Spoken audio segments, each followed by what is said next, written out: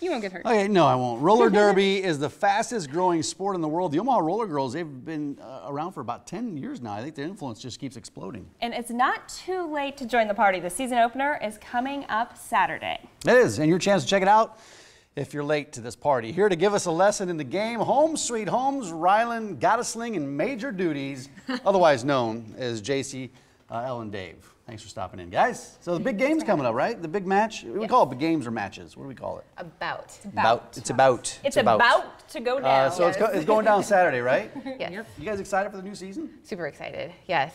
Well, tell us about. Let's let's take kind of dive back ten years, right? How did this all get started in Omaha, the Roller Girls, and and, and where how you've gotten to this point? Well, I think a few girls just started putting a league together, and we still have a few of those in our league. Um, uh, we had Sharon Misery and Sherry Massacre. Hartman and Molly Massacre. They're, they started the league out, and Not their keep- real names, by the way. right?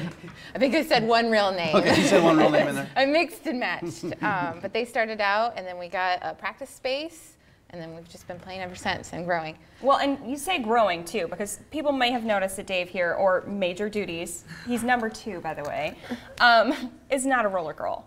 So we have roller bros now. Well, so I'm trying to figure out why you're here, connection Dave. there. What's he doing here? Just to, To look pretty. Good. Right. My only job here is to look pretty and support them. It's the sex what appeal. Mike does. Yeah, that's, that's why I'm here too. But no, how, why would you get involved with this? Um, I actually started dating one of the Omaha Roller Girls several years ago.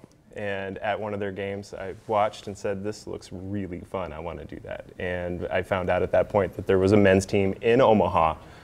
And I bought my gear, and the rest is history. Yeah, you're on the men's team though. Yes. Yeah, you're not you're not going head to head against the girls. We do You- you co ed guys- scrimmage. you we we scrimmage against train them? with And who the Roller wins Girls. those bouts? Um, we're not going to get into that. I had a feeling I knew the answer. So we've got the ladies address, we've got the guys, and you guys have even expanded to juniors. So how can people get involved in that if they've got kids that are interested? What ages and what do they do?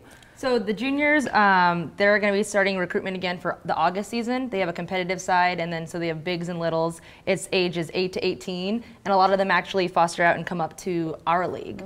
Um, and right now they they just had a game in Lincoln. Yep, they they did really well final with that. Lincoln. Yeah. Yeah, and you continue to try to get people to come out to the roller because there's some people that just have not been out. Ten years you guys have been around, and some people just have not been out to about.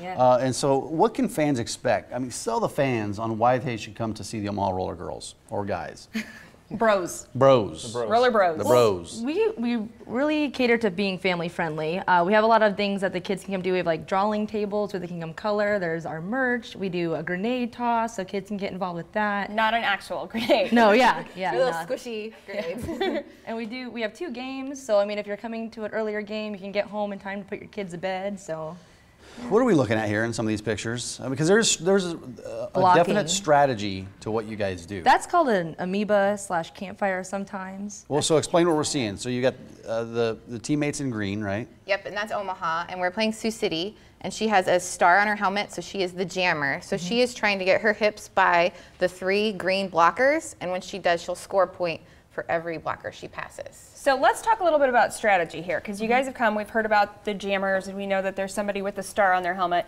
What are the basic rules? Like, if people come out to the game, what should they be looking for?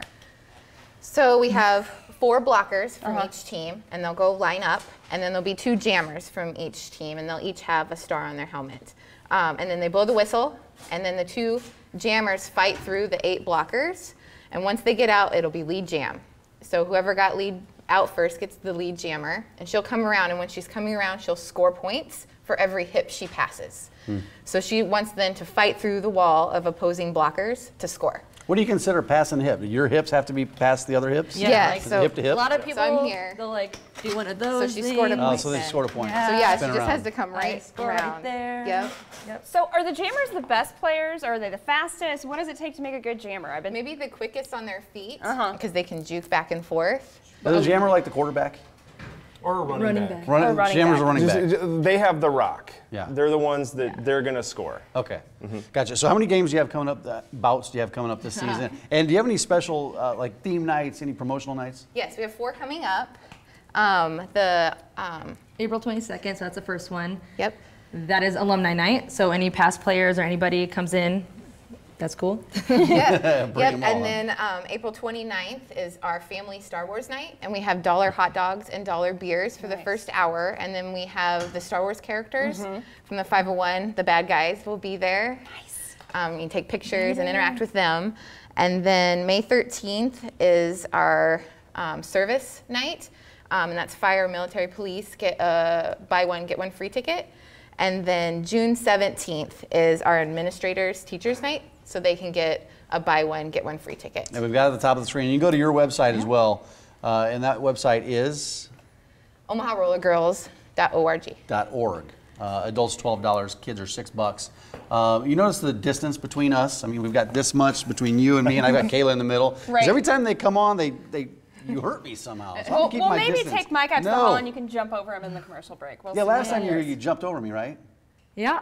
Yeah, Sure did. one It was pretty few times. impressive. We'll do that next time. We'll set that up. I'll get in touch. Stay away from me. Thank you, ladies and bro. Yeah, So we appreciate coming. your Thank time you. today. And Okay. good luck.